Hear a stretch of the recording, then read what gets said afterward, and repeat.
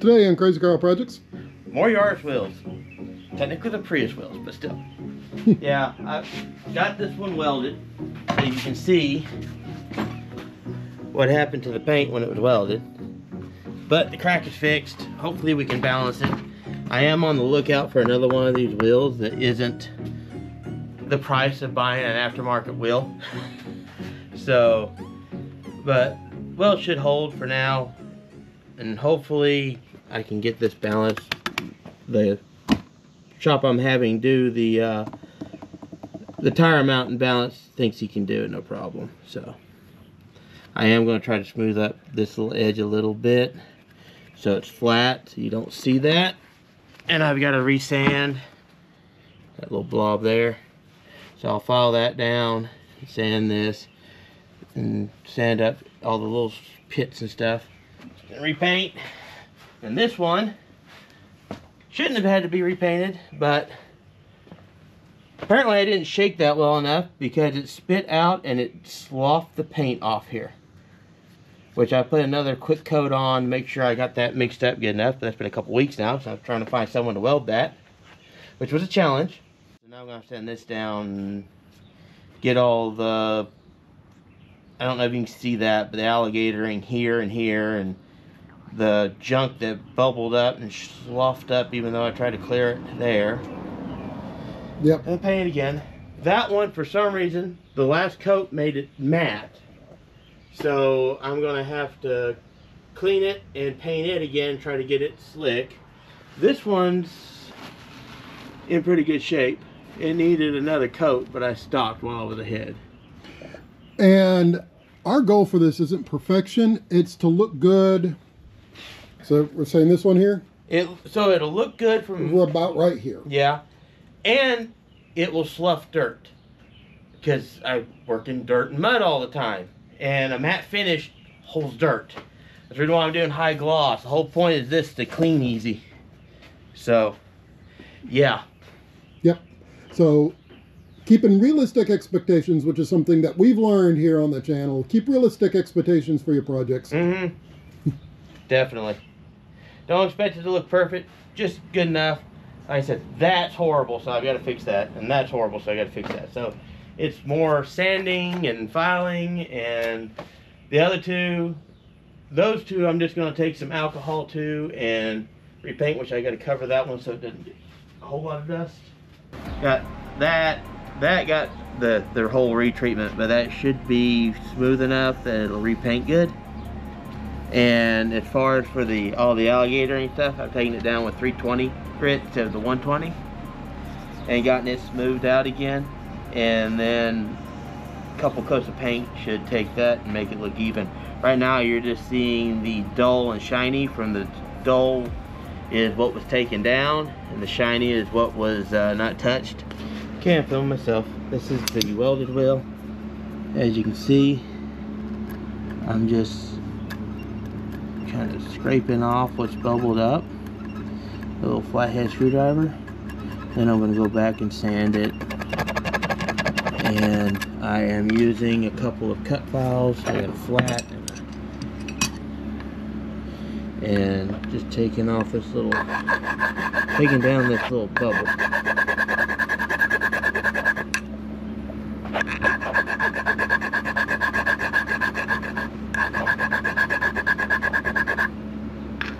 And I'll just be doing that for a little bit, trying to get this all nice and smooth.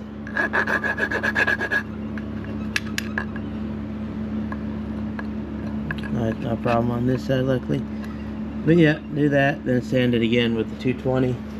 Uh, don't think I'm going to have to go 120. I might have to a little bit, but I think two, 320 will smooth it and get all the stuff that's failed off and then it's going to be a matter of uh, getting it all cleaned up. That one's done. That one's done. I may do, I was just going to go paint, but I think I might take uh, some 1000 grit to these two just to texture them a little bit. Take simple green degreaser to all of them, wash them off, dry them with lint-free cloth, and let them finish air drying and then start painting them. And give those one coat, those two over there one more coat, maybe two, and then these actually do what needs done and try to get these done so I can get new tires, the new tires on them. And there we go. I've got this sanded, or this file down smooth and sanded. Went with, difference between these files I didn't talk about before. This, you have a cross tooth, this is a cutting file. This file is, it's kind of a cutting file, but it's actually a fine finish file. The difference is, is you have just one line, goes all the way around on this one. And this one you have a cross hatch. This is just a more aggressive file, so it'll take more metal off. This is better for taking metal off and making a fine surface. So you end up with a nice smooth surface. So which one did you use first? Use the cutting file first. Uh, do you go back and forth with it or just go down in one direction? Back and forth. Back and forth on this one. This, this you can go back and forth, to you, but when you're doing your final finish, you go in one direction. That gives a nice smooth, and generally you go in the way you want it to kind of roll. So on this one, I went down on the, but was just for a few swaps, swipes to get the final curve on it, and Yeah. then sanded it. Okay. Sorry for the dumb question. It's maybe dumb, but No, no, I that's know a good question. Yeah, sometimes I wonder these things. And I've done this so long, I don't think about it. Covering these so they wouldn't get dusty, I decided to give them a light sand. This is thousand grit. You could do this wet. Traditionally, you would do this wet, but I'm just doing a light sand so the new coat of paint going over the top will grip better. And maybe it'll get rid of the flat appearance that's happening because that has to, some to do with a texture that's developed. And it really is, it's a light sand. It just kind of roughs up the top so stuff will stick to it and maybe it'll knock down some of the raised areas. And I'm going to wash it. I'm going to use simple green instead of CLR this time. You just want to make sure you get the dust and the grease off. And then dry it and let it dry good and paint it. I just sprayed them down and hosed them. Yeah, it's part of what's going on.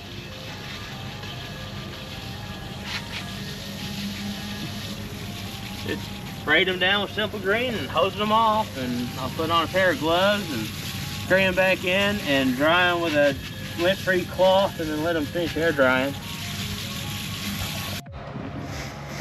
Just drying them off with uh, blue shot rags right now.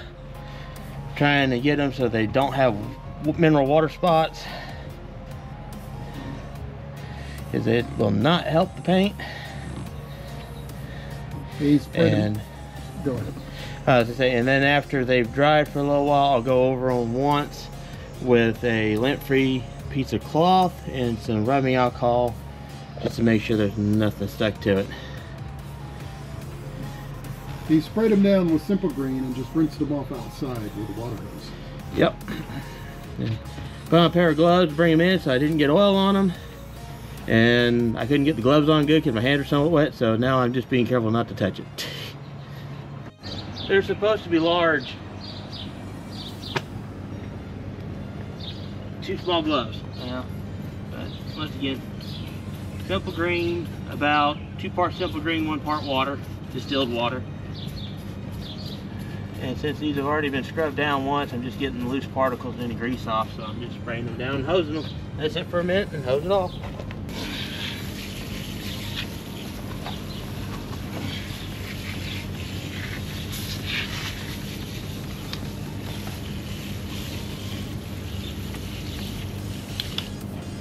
And dry 'em. So these are the tires that's going to be going on those. Some Scorpion Pirellis. Might not even be able to get those anymore. I got those clearance from the last place that had them a year or so ago. Yep, a little bit of an off-road style tread there. That's how long we've been trying to get these. Uh, we tried to get the Rams, and yeah, They're, it- they're it all-terrain rally tires. I got the tires and I started trying to find wheels. There's 14 inch, which was the alloys for this car and for Mazda. They're supposed to fit this car, which didn't. Rum alcohol and a lint-free cloth and just do a quick wipe to get any dust or debris or any ex any grease that managed to get transferred or anything like that off. Let the alcohol dry and then I can start painting. Because this kid gave me trouble last time, I'm going to do a test patch on the cardboard. Yeah, it's just kind of splattering. There it goes. There. Okay. Yep. Now I'll do. I'll get flies to go away. Do colors, and you see I'm actually wearing protection this time. Kind of. It's not quite the right kind, but eh, there's nothing.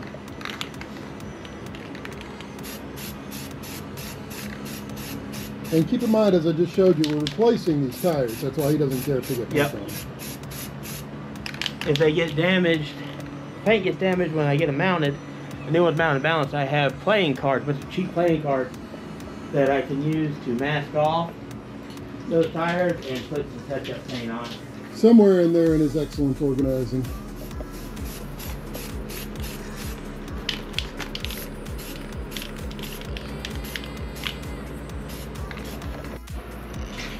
Well, there it is. Kind of the fin finished product here. Waiting on it to dry Right. now. Those two are completely done. This one's pretty close to being completely done. And this one, eh, I should have sanded that all down more, but it is sealed pretty good and the crack is filled. So, Yeah, this one here. the crack's filled. I should have done more sanding, I guess, on this. Smooth that out a little bit more. But whatever. Good enough. Yep, like I said, it's a five footer, so from like here. Five footer, and I'll look at it this way. That lets me find, when I'm looking, the damaged spokes so I can tell whether it's cracked. There you go. So next step is to let these dry. This one and this one may get another touch-up coat in 15 minutes. When it's dry, ready, those two are done. Let them set up, dry good. And sometime this week I'll get those tires mounted. And then when I get it back, I'll see if I need to touch them up any. If I have to touch them up, I'll touch them up. And if I have to touch them up, I may go through and do, we got a uh, metallic flake clear coat put over the top. And I had kind of banned the idea of using it, but if I've got a new touch up, so I have to do a new coat on it, I may do that too. I'm going to paint them again anyways. Alrighty, go. So we'll see. Okay. Oh, we got the tires back. They're mounted. I have uh, lightly sanded them again, and I'm gonna. Put, I got a new can of paint, and already testing it. This sprayed a lot smoother than that can. I'm starting to think that can either had a wrong mix or had a bad nozzle, because I could not get a smooth spray with it. So hopefully this will give it a nice smooth finish. And I did the playing card trick and trying to, I didn't tape the tires off themselves, but I did this so you wouldn't get side blow. So hopefully this will work good. Mm, mash. The Eight. battle of painting with a rattle can. These. Try to get a nice smooth finish and sometimes at alligators. Oh well. If at first you don't succeed, keep doing it. Yeah. Paper and card trick worked. I don't have white tires and they're coming off nice and easy. So at least I got two done. Those I'm gonna have to sand again. And I know I got down too heavy. I was trying to make for a nice smooth finish. And I just got it too heavy. Plus, I ran into that problem with starting with the other can over the old paint. I think the first, no matter how much you shake it, the first little bit that comes out has a little more solvent in it. So I should have just sprayed out the first so much somewhere else and then started using it. So, yeah.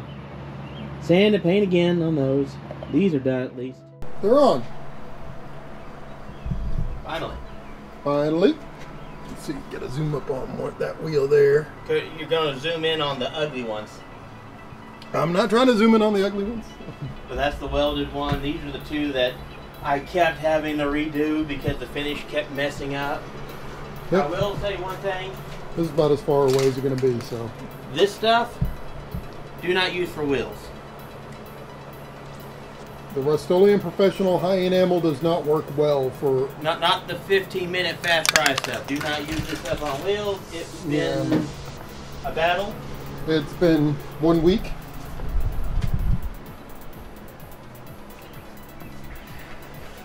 So, this is the good side, the side he wants me to get. Good. And yes, there you are. This is what they look like. No, no, no. You tell me. Was that worth the time and effort? Because that took you how how many hours did we put into these? I don't know. I lost the good one. After the first gravel road. And then we'll have the answer. Yes. Which we'll get the answer after his trip. And if not, then, well, I know it looks good. If the wheels hold up, I'll sand it all again and actually use equipment paint. Yep. High gloss white tractor paint. If you would like him to use Flex Seal instead, like I keep trying to tell him, go ahead and tell him in the comments. Don't use Flex Seal. Just say use Flex Seal. But yeah, that's what they look like. And I showed you on the other side here. They look great from five foot away. Yeah, like I said, they're five. They're five footers, is what it is. I finally got them to have a gloss finish. All of them have a gloss finish. So Yeah. So there you go. And that's what they look like. If you want to put that effort in, it was at least 12 hours of sanding, spray painting. Oh no, and- it was more than Yeah, that. it was at least 12. I know it was Um, not- probably about not 24. counting doing the weld, doing the initial sanding, we probably have It's like a bit. 48, maybe Well- 70, probably 72 man hours into it. Yeah. Well, this is you we're talking about. Regular people, they would have used uh, one of the rotary tools, but you can't use one of those. One of the vibrating sanders that would have made, you Yeah. have one of the small vibrating sanders that would Well, have you made can't it get into all the stupid little ridges and details. Yeah, but you could have got the big parts, and that would have helped a little bit, but they killed my hands. The vibration kills my hands, so I can't use them. Yep. But yes, that's what they look like, and I think they look pretty good after all this time. It was worth the effort. Now, now break-in's going to be a drive to Tennessee because it's cow hauling time. So, um, yeah, we'll see how they hold up to the farm. Trip down, trip back, and, and farm life. So, Yep. And also, I think still think you should spray paint your uh, drums. oh come on, they're natural. They're just to be covered in mud, anyways. Don't spray paint your uh, spray paint your calipers. But don't spray paint your rotors because that would be bad. Oh come on, it'll be nice and color coded. It'll be nice and smooth and quiet. they won't stop ever again. Uh, so it'll be like the Kia. Yes. it'll be like the Kia is now. All right. Well, thank y'all very much for hanging out with us. This is technically another project completed. Yep. And there should be a little section after for after trip, but Yeah. like, share, subscribe. yeah go ahead, jump in there, kid. Another project completed until until he decides to redo the project again. That's a new project, though. Mm-hmm. oh, and the fun thing is, I haven't done the lift yet, and these Pirellis on the 14 inch.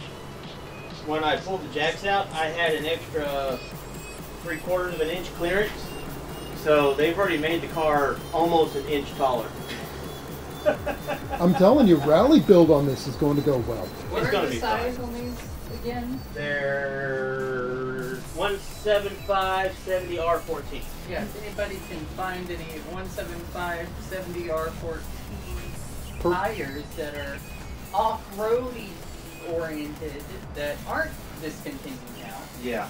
because Yeah. something tells me that these are going to last maybe 20,000 miles. I might get 30 out of them before they're so slick that they're like the other tires were. So for you, that's a season. Season and a half. I'll drive Yeah. them ball through the summer. yeah, a season. All right. Don't make it two winters. Out 400 miles, 500 miles, 600 miles later, it's driven to Tennessee and back, rode around the farm. I've done a couple of days of work on it with gravel running sites, construction sites, gravel roads, and uh, the wheels are dirty, but they're holding up well. And the tires are so much better. Drove through some monsoonal rains. They held good. They get good traction. They grip good in all conditions. A little balloony, a little different feel than it had with the 15 inchers. Because they're, you know, wider, they're taller sidewalls, so they're a little more balloony. So it's a little more of a floaty ride than it was, but it's not, it's a nice ride. There you go. That's what it looks like close up. On the ugly side. no, that's probably the nicer. One of these two is the nicest wheel, I think, actually. But from a distance, they all look good. And you have to get really close to be looking to tell that there's imperfections in the paint coverage.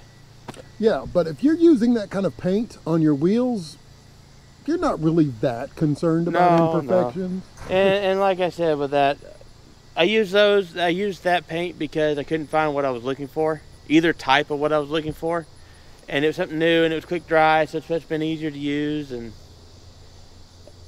that paint has places to use. Not really ideal for this use, but it worked, and the white paint looked good. Yep. I, if I had to do it again, like I said, I'll probably use. If I do this again, I'll probably use tractor paint, farm equipment paint, or something similar to that that's made for chemical resistant and uh, high durability. Yep. So look for it in the backgrounds of the videos. We'll talk about it every once in a while. Y'all long-term viewers viewers know how we do it because it'll be an offhanded comment. Oh, by the way, this is going well or this is going bad. Going horribly. It'd be like the the uh, shelf paper that's still holding on. it's faded, but it's still holding on. So the answer is yes. You can vinyl wrap a car with shelf paper. we were going to do it, but we can't find all the same kind of shelf paper. Maybe we I, I can I can only ever find two or three rolls at a time of anything that's not just.